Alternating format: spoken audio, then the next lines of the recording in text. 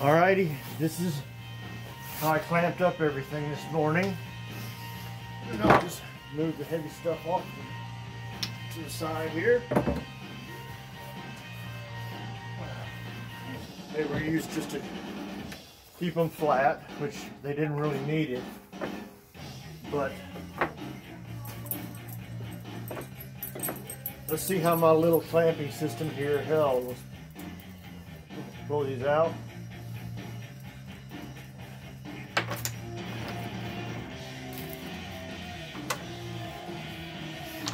I marked the wedges with a W so I wouldn't be, I would be able to find them again.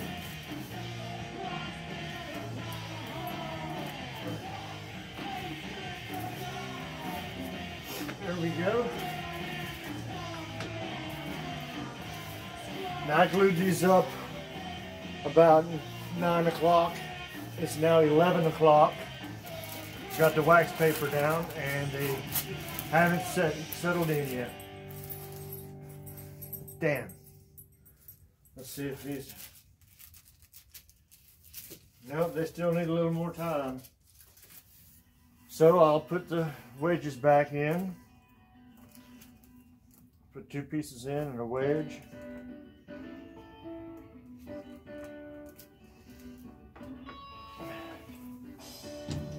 Two pieces and a wedge.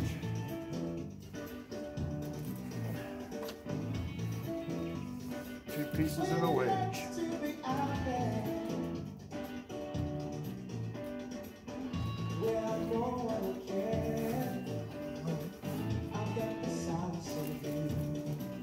I've got the great tunes uh, playing all the time here in the barn.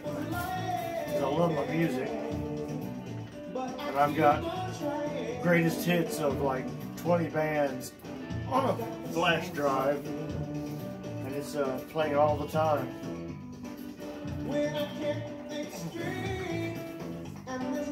See the wedges, I just push them in.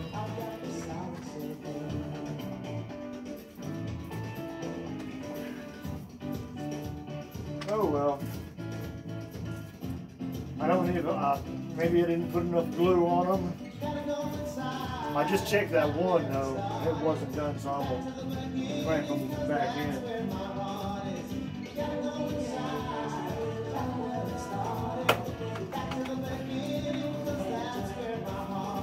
Not bowing up any, so I don't have to put the weights on them again.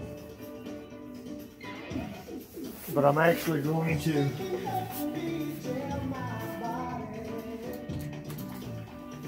take a clamp and put it on this last one.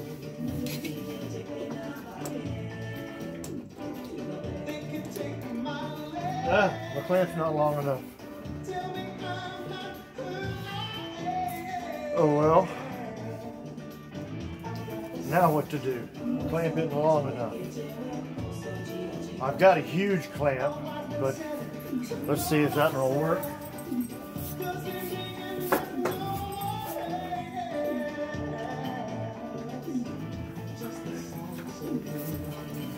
I've got this long daddy here.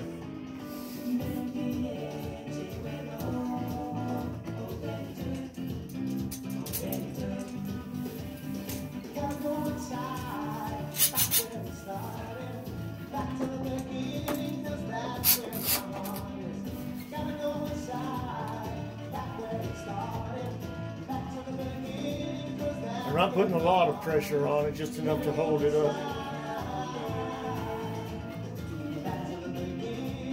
There we go. Now that should cure everything. But how you like my clamping system? I think I only let them sit for two hours. So that's not very much time. And just as a precaution, I'm gonna put the buckets back on them.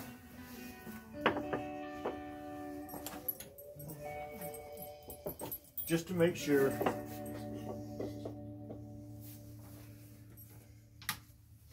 Better safe than sorry, all right?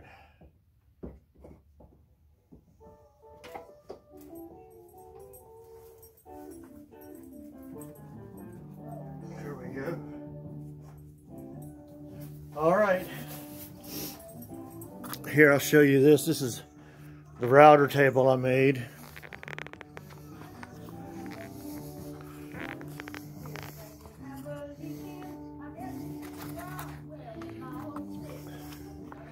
It's not perfect. It's not even nearly perfect.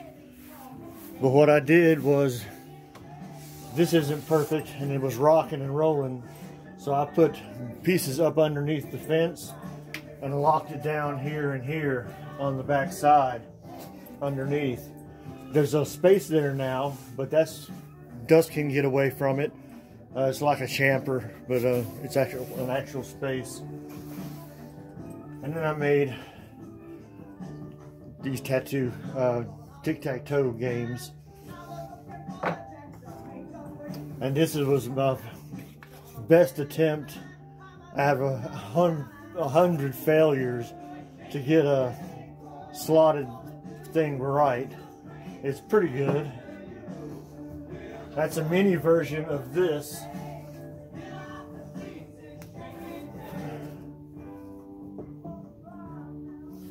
Which is a tic-tac-toe game for your bathroom. You use toilet paper rolls for the O's and uh, things there. Now I'm gonna take you into here and show you this. This is a hockey game and it is three foot by 55 inches and there's the puck right there. It's a nice tabletop thing. It doesn't have legs. You just set it right on the tabletop. And then here's some toys that uh, I made these two trucks. And my friend Robert Ezel made this train. I just got it out of the shed out there to show everybody.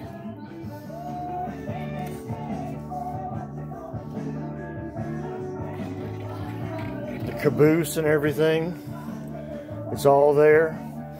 And as you can see, there's pins right there.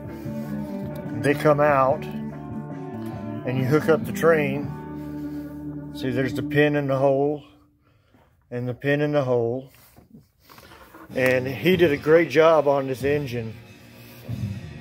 It's really nice.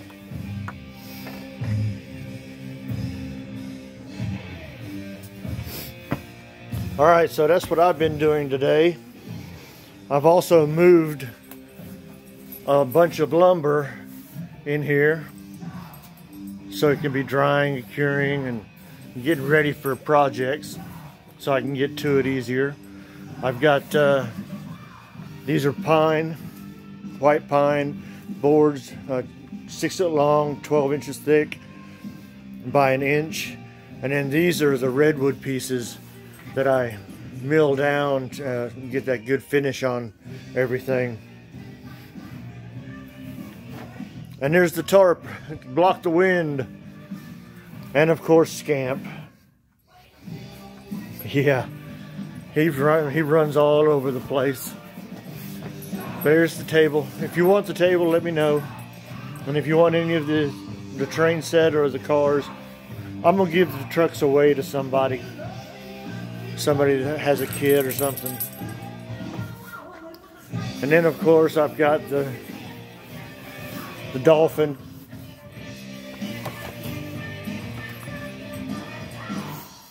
And then the sign says, make me an offer, man. I found that we were, uh, there's a box I made. I just made the handle for it today. And, uh, and now the music's gonna get me copyrighted, so I'm gonna end this. So, all right. I am Bob's Crosses at AOL.com. Give me a message.